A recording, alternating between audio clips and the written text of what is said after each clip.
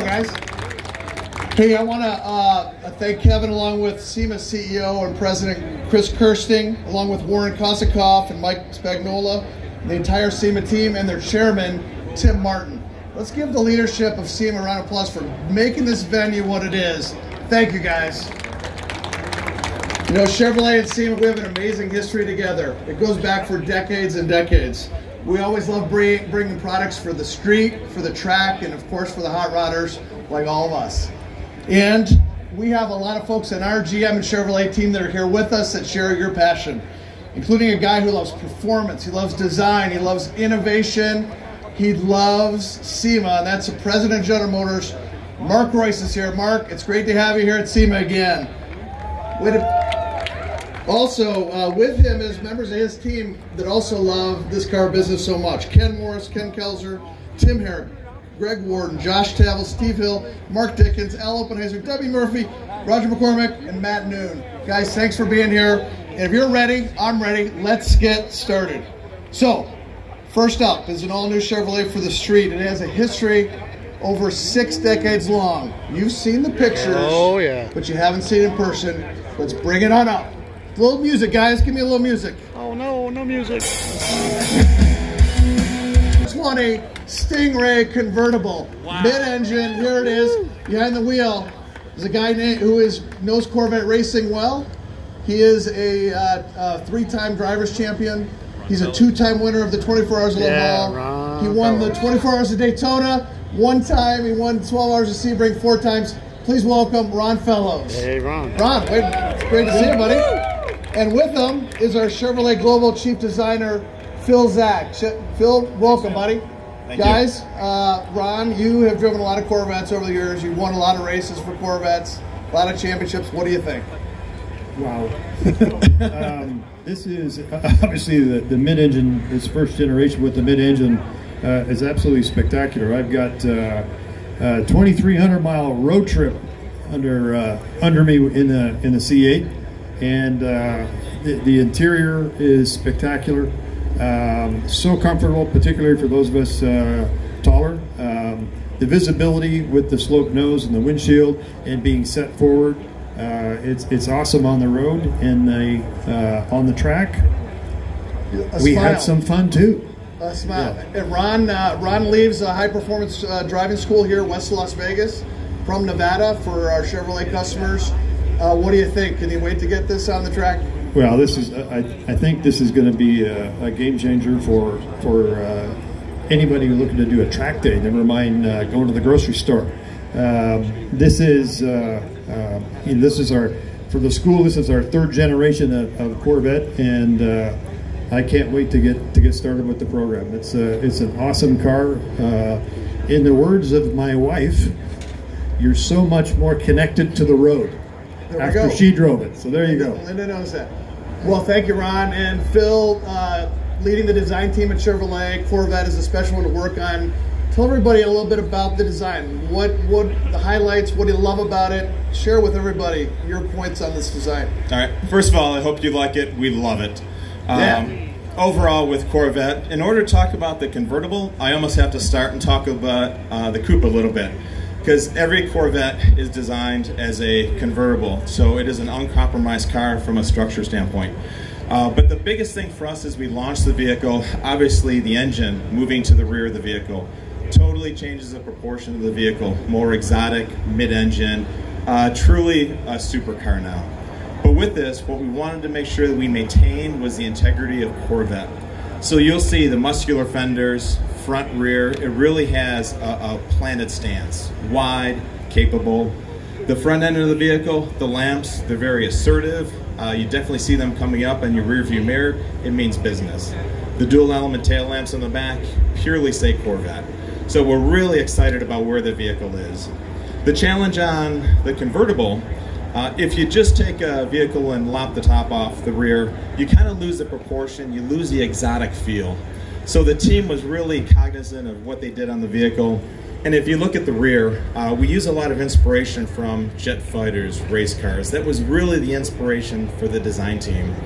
And then the cells, as we call them, behind the uh, the seats, it's really like a jet fighter, the cockpit. You kind of see what's behind you as it, as it goes back. From rear three quarter views and from side view, you still have that muscular feel, which really plays well for the Vet. Uh, we also worked heavily with engineering on the execution of the top, so that works. And another one was uh, cooling. So if you look on the rear, some of the venting through there, very much like you'd see on a, on a jet fighter. So from an inspiration standpoint, we could not be more excited about where this car is at. I love it. And uh, Phil and his team work with us, uh, many of our engineers here on our accessories. Talk a little bit about the wheels on here and then a few of the accessories. So from an accessory side and just a customization side, we know how the customers want unique, different, new. They want their own vehicle. So we've got uh, options coming out, splitters, uh, additional wheels. This is a tri-spoke Trident wheel, black, milled face. You can get Jake center caps. On top of the stuff that you can normally get in the vehicle, for instance, we have 12 exterior colors now, more than we've ever had before. Uh, four caliper colors we have nine interior color options. We have three different seats. We've got a GT1, GT2, uh, touring, and we also have a competition seat along with uh, six seat colors, myriad of options that you can go. So you can truly get a, uh, a bespoke uh, Corvette. And at SEMA, that's what it's all about, making your vehicle your own, customizing it. The engine is a 6.2 liter LT2 small block V8 495 horsepower with the performance exhaust. Zero to 60, you guys ready? 2.9 seconds. No. An amazing stat. Top speed of 194 miles an hour. We couldn't be more excited to bring the Corvette. You got to come and check it out. Uh, and guys, you talked about the coupe. We talked about the convertible. Talked about the driving school. Ron, you're a racer. Phil, you love racing. Shouldn't we race it? Absolutely. Every quarter. Well, you got to race it. So bring it on out. Guys, give me a little bit of music.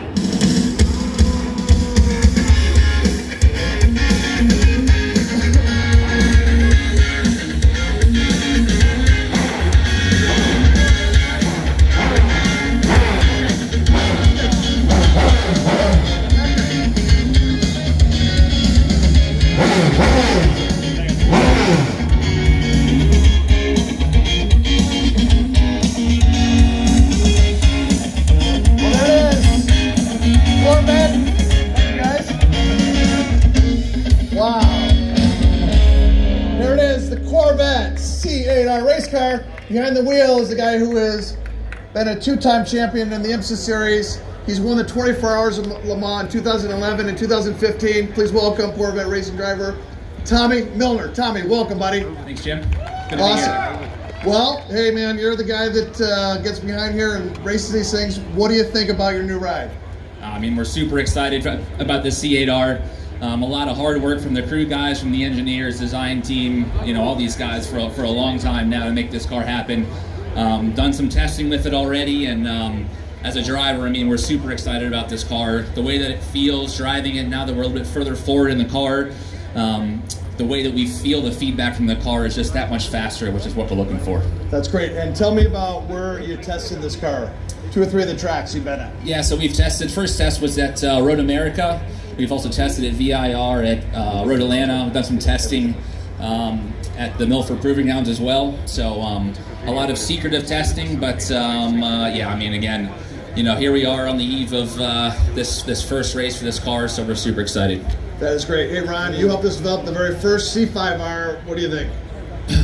Can an old Corvette racing driver get 10 laps? Oh, of course. I just want 10 laps. You're in. Well, hey, this is the first clean sheet approach since the car that Ron helped develop, the C5R. First time we have the most shared components between the race car and the production car, over 100 shared components. Of course, we have Michelin tires on the on the production car, the race car, Mobil One oil in the engine, and uh, this has a 5.5 liter V8. It's going to give us plenty of power to get the job done. So, guys, uh, what I would just tell you, I'm thinking about all of you up here.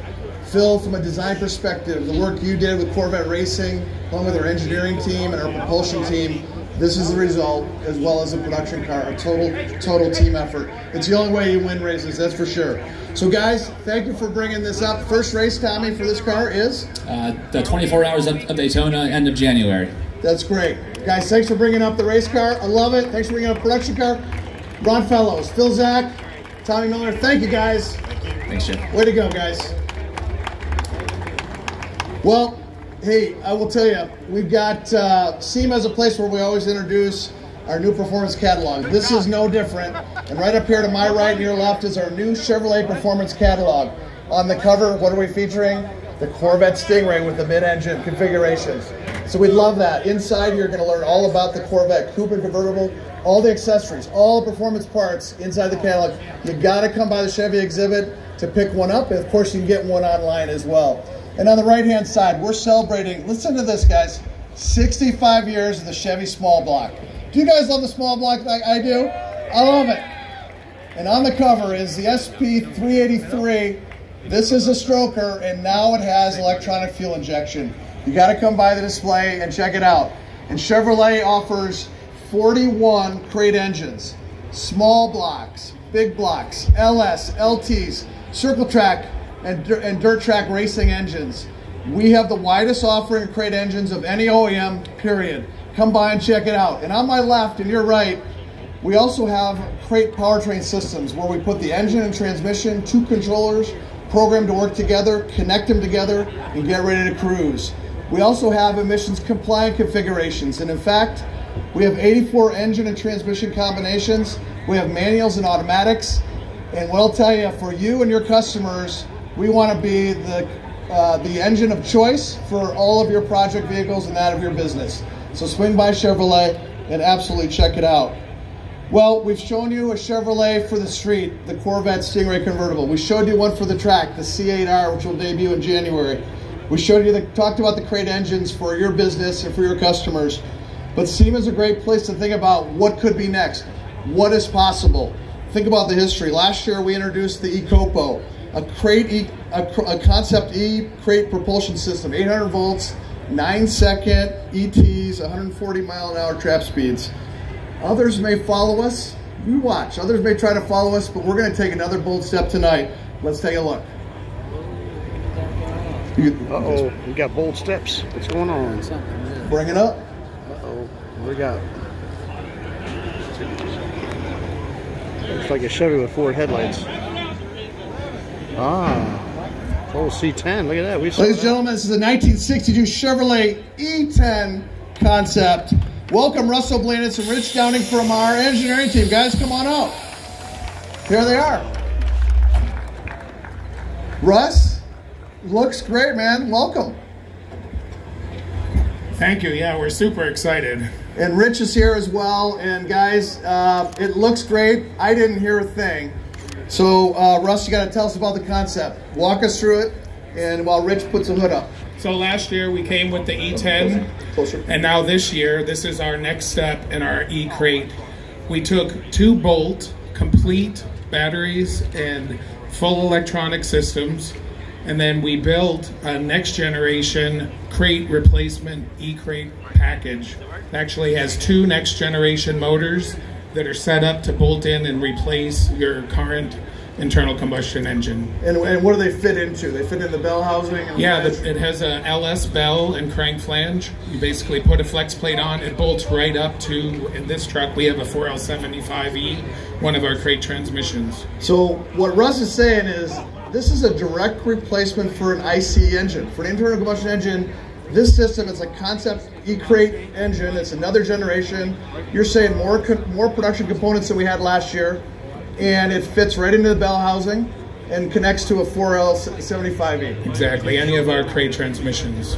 What about 0 to 60 times? 0 to 60 will be in the high 5 second range. And what about, uh, speaking of range, about what's the range? Yeah, the Similar to range will be right in the same as our Bolt EV. And um, really, one of the concepts that we had when we put this together was the Hot Rod Power Tour. So we wanted to make sure we could go at least every distance without a charge. That's great. And then speaking of charging, how do you charge it up and how fast does it charge? Yeah, so one of the great things about running two independent systems is it allows us to independently charge each battery, both with the standard plug-in and DC fast charge.